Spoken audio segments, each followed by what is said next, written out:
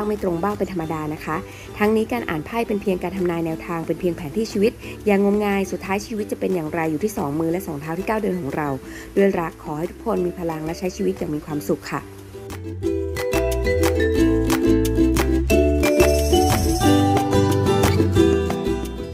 วัสดีค่ะ ดวงชะตาพาเพลินใบอ้ำเทรนนี่โดยแม่หมออ้ำธรรมทาโร่วันนี้ชวนทุกคนมาดูดวงในเดือน มีนาคม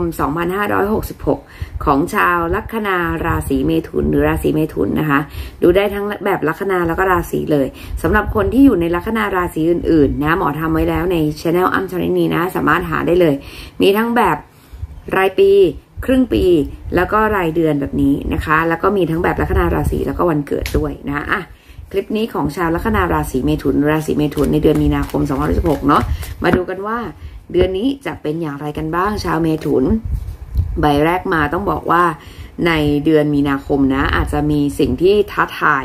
ความสามารถความรู้ของคุณนิดนึงนะแต่ต้องบอกเลยว่าคุณจัดการได้คุณเอาอยู่นะคุณเป็นคนเก่งมีความสามารถด้วยนะคะเพราะฉะนั้นแล้วเนี่ยอะไรที่มันยากๆต้องบอกเลยคุณจัดการได้ คุณจะสามารถฝ่าฟันปัญหาอุปสรรค แล้วก็เอาตัวรอดผ่านวิกฤตอะไรต่างๆ ได้อย่างแน่นอนนะคะ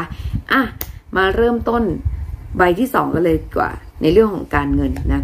การเงินรายได้ทรัพย์สินดูเหมือนกับว่าอาจจะต้องมีการบริหารจัดการดีๆ นะ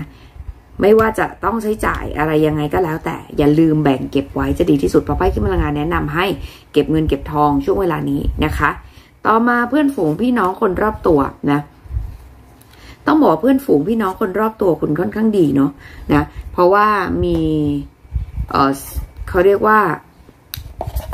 พึ่งพาอาศัยได้อะ พึ่งพาอาศัยได้นะ มีความสามารถในการเเก็บเงิน เก็บทองสร้างเนื้อสร้างตัวทำให้คุณก็ได้ได้รับผลประโยชน์ดี ๆ ไปด้วยนะคะ ต่อมาค่ะเรื่องของ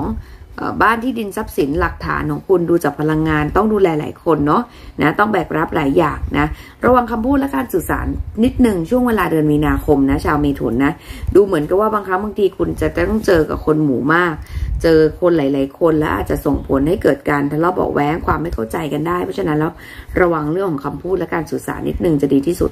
นะคะต่อมาเรื่องของ อืม ลูกหลานบริวารลูกน้องหรือคนรัก ดูเหมือนกับว่าลูกหลานบริวารลูกน้องช่วงเวลานี้ อาจจะมีเรื่องให้คุณช่วยตัดสินใจอะไรต่างๆอยู่เหมือนกันเนาะในเรื่องของความรักก็เช่นเดียวกันเหมือนกำลังจะต้องตัดสินใจอะ่ะ ในเดือนมีนาคมมีเรื่องที่ต้องตัดสินใจนะคะ ต่อมาปัญหาอุปสรรคค่ะปัญหาอุปสรรคอาจจะเป็นความเครียดของคุณเองนะบางครั้งบางทีคุณเครียดมาก หรือเครียดมากจนเกินไปทำให้ส่งผลถึงสุขภาพตัวเองด้วย แล้วก็รวมไปถึงในเรื่องของการ ใช้ชีวิตไปข้างหน้ามันทำให้ช้า เพราะว่าคุณคิดมากหรือว่าวนลูปอยู่กับความคิดมากคิดเยอะคิดหนักนะคะ เพราะฉะนั้นระวังเรื่องของความเครียดความคิดของตัวเองนิดหนึ่งนะคะเรื่องของสุขภาพระวังปวดหัวปวดศีรษะเวียนหัววินศีรษะด้วยนะระวังเรื่องของสัตว์ต่าง ๆ ด้วยอันตรายจากสัตว์นะ ต่อมาเรื่องของความรักถ้าโสดอยู่เนี่ยเป็นไปได้ว่าจะมีคนเข้ามา ให้คุณเลือกให้คุณตัดสินใจ ถ้าสถานะไม่ชัดเจนก็ต้องบอกว่า มีโอกาสที่จะมีคนเข้ามามากกว่าหนึ่งคนทำให้คุณต้องเลือกต้องตัดสินใจนะส่วนถ้าเกิดว่ามีคู่อยู่แล้ว หรือมีแฟนอยู่แล้วเป็นไปได้ว่า ช่วงเวลานี้อาจจะโฟกัสเรื่องงานกันมากไปหน่อยนะหาเวลาเติมความหวานให้กันสักนิดก็จะดีนะต่อมาค่ะ สิ่งที่ต้องระมัดระวังอีกเนี่ยระวังป่วย ระวังเจ็บป่วย ระวังเจ็บไข้ได้ป่วย ระวังไม่สบาย ระวังจะต้องไปหาหมอจากการที่มีความเครียด มีความคิดเยอะคิดหนัก มีความไม่สบายนะหรือว่าอาจจะมีอันตรายจากสัตว์ก็ได้ระวังนิดหนึ่งนะคะเออนอนไม่พออะไรเงี้ยระวังจะไม่สบายเนาะต่อมาค่ะ เรื่องของความสำเร็จกันบ้าง ความสำเร็จดูจากพลังงานดูเหมือนคุณจะได้รับโอกาสดีๆนะ แต่ต้องบอกก่อนว่าโอกาสของคุณมันจะไม่ได้แบบมาให้คุณคนเดียวอะ่ะมันเหมือนกับว่า คุณจะเป็นแคนดิเดตหรือว่าเป็นช้อยส์อีกช้อยหนึ่งเพราะฉะนั้นแล้วเนี่ยทำหน้าที่ของตัวเองให้ดีนะคิดดีพูดดีทำดีทำหน้าที่ของตัวเองให้ดีที่สุด แล้วมันจะมีโอกาสที่คุณจะสามารถได้รับโอกาสดีๆ และเจริญเติบโตก้าวหน้า หรือว่าประสบความสำเร็จอยู่นะคะ ต่อมาเรื่องของการงาน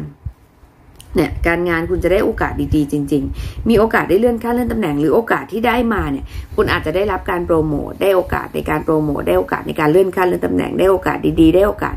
ไปย้ายที่ทำงานและทำให้มีโอกาสทางตำแหน่งหน้าที่การงานดีขึ้น มีโอกาสทางธุรกิจที่จะทำให้มีโอกาสทางการเงินเพิ่มมากขึ้น คุณจะได้รับโอกาสนี้นะเออแต่ว่าคุณก็ต้องพิสูจน์ตัวเองด้วยนะคะ ต่อมาค่ะเรื่องของเรื่องของเออ โชคลาภนะมีโชคมีลาบไหมดูจากพลังงานโชคลาภมาจากการทำงานมากกว่านะคะ โชคลาภมาจากการทำงานเป็นสำคัญนะเพราะฉะนั้นแล้วเนี่ยในเรื่องของลาบลอยถามว่ามีไหมก็อาจจะพอมีอยู่บ้างแต่หลักๆ ถ้าคุณตั้งใจทำงานคุณทำหน้าที่ของตัวเองให้ดี ยิ่งทำยิ่งมียิ่งทำยิ่งได้ เพราะฉะนั้นแล้วลงมือทำหน้าที่ทำงานของตัวเองดีกว่านะจะได้มีโชคมีลาบมีโอกาสดีๆทางการเงินเข้ามานะสุดท้ายค่ะสิ่งที่ต้องระมัดระวังอะไรอีก สิ่งที่ต้องระมัดระวังคือ เหมือนคุณต้องเก็บความลับเหมือนกันเนาะหรือมีอะไรบางอย่างที่ต้องปิดบัง ซ่อนเร้น หรือว่ามีความคุมเครืออะไรบางอย่างในชีวิต สิ่งที่ต้องระวังคือ ความใจดีความใจอ่อนนะระวังกิเลสของตัวเองนะบางครั้งบางที ถ้าในเรื่องงานเนี่ยบางครั้งบางทีอาจจะต้องระวังความลับล้วนไหลนะเออระวังว่าอ่าอาจจะต้องเก็บความลับ ระวังความลับ เก็บความลับไม่อยู่นะ ถ้าเรื่องของธุรกิจก็เช่นเดียวกันเรื่องของความลับเรื่องของไอเดียอะไรอย่างเงี้ยระวังระวังมีคนไปเผยแพร่หรือระวังว่าจะต้องไอเดียมันจะมันจะถูกนำออกไปถ่ายทอดเนาะแล้วทำให้แบบเสียโอกาสบางอย่าง ในขณะเดียวกันถ้าเรื่องของความรักคุณเราคุณต้องระวังคือถ้าเกิดโสดหรือสถานะไม่ชัดเจนต้องระวัง ระวังว่าจะมีคนที่เข้ามาอย่างที่บอกไปมีคนมาให้เลือก แต่อาจจะต้องระวังว่าคนที่เข้ามาจะมีเจ้าของแล้ว มีใครอยู่แล้วมีคนอื่นอยู่แล้ว มีครอบครัวแล้วนะส่วนคนที่มีคู่อยู่แล้วหรือมีแฟนอยู่แล้ว ระวังว่าการที่ไม่ได้แบบเติมความหวานให้กันจะทำให้เสน่ห์ของคุณและเขามันมันมันมันมันมันดึงดูดทำให้ผู้คนอยากจะเข้าหานะคะ ระวังความสัมพันธ์มันมันมีมันมีความกระท่อนกระแท่นจากการที่ไม่ได้เติมสิ่งดีๆต่อกันนะคะ โอเค อันนี้ก็เป็นพลังงานภาพรวมนะทั้งหมดของ ชาวลัคนาราศีเมถุนราศีเมถุน จากไพ่ทาโร่ทีนี้เพิ่มเติมนิดนึงจาก Oracle กันบ้างนะ มาดูกันว่าไพ่ Oracle จะบอกอะไรกับคุณในเดือน มีนาคม2016นะสำหรับชาวเมถุนนะใบแรกมา เออเนี่ยดูโอกาสมีโอกาสที่จะเจริญเติบโตก้าวหน้าใน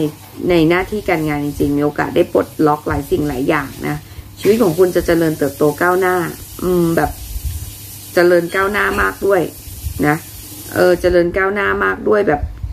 พุ่งทะยานสู่ขีดสุดอะ่ะมีโอกาสได้เลื่อนขั้นเลื่อนตำแหน่งหรือว่าได้ได้ย้ายงานแล้วทำให้ประสบความสำเร็จอะ่ะจริง ๆ นะ มีโชคมีโชคจากการทำงานจริง ๆ ยิ่งทำยิ่งมียิ่งทำยิ่งได้ยิ่งทำยิ่งประสบความสำเร็จนะคะอะต่อมาค่ะ อืม เป็นคนเก่งนะ อย่างที่บอกเลยมีไอเดียดี มีความคิดเรื่องสร้างสรรค์ระวังอย่างเดียวคือระวังความคิดสร้างสรรค์รั่วไหลเนาะแต่มีโอกาสที่จะได้รับสิ่งดีๆ แน่นอนนะจากความคิดเริ่มสร้างสรรค์ของคุณนะจะทำให้คุณชีวิตก้าวหน้าแน่ๆ สุดท้ายค่ะมาดูกันว่าไพ่อยากจะสื่อสารเนี่ยจะบอกอะไร อืม ต้องบอกว่าช่วงเวลานี้นะ มีความโดดเด่นในตัวเองสูงมาก ออร่าเกิดสเสน่ห์เกิด สิ่งที่ต้องระวังคือคนเข้ามาเนี่ยอย่างที่บอกไปเลยนะคนเข้ามาอาจจะมีคนแบบ มีเจ้าของแล้ว มีใครอยู่แล้ว หรืออาจจะเจอคนไม่จริงใจด้วยความที่คุณเนี่ยมีออร่ามีเสน่ห์เป็นคนครบเครื่อง อาจจะเข้ามาเพราะหวังผลประโยชน์อันนี้เป็นไปได้เช่นเดียวกันระวังตรงนี้นิดหนึ่งนะคะหรือถ้าเกิดว่ามีคู่อยู่แล้วหรือมีแฟนอยู่แล้ว ในช่วงเวลานี้เนี่ย การเงินความสำเร็จอะไรไม่ต้องห่วงเลยมันมันดีมากแต่ว่า อาจจะขาดในเรื่องของความสัมพันธ์นิดนึง เพราะฉะนั้นเติมความหวานในกันจะดีนะคะ โอเค อันนี้ก็เป็นพลังงานภาพรวมทั้งหมดของชาวลัคนาราศีเมถุน หรือราศีเมถุนนั่นเองนะในเดือนมีนาคม 2566 นะคะสำหรับใครที่อยากจะดูส่วนตัวกับหมออย่าลืมคลิกลิงก์ Line Official เนาะแล้วทักมาจองคิวกันก่อนนะคะ แล้วก็ ฝากกดไลค์ กดแชร์ กดติดตาม กด subscribe กดหัวใจ กดกระดิ่งกริ้งกริ้งกดซีเฟิร์สให้กับแม่หมอด้วยนะคะ ในทุกๆช่องทางเลย ถือว่าเป็นค่าครูแล้วก็เป็นกำลังใจให้แม่หมอในการทำคลิปดีๆต่อไปให้กับทุกๆคนเลยนะคะสำหรับวันนี้ไปแล้ว ขอทุกคนใช้ชีวิตอยู่เปิดบานตื่นรู้ แล้วก็ทรงพลังนะคะ สวัสดีค่ะ บ๊ายบาย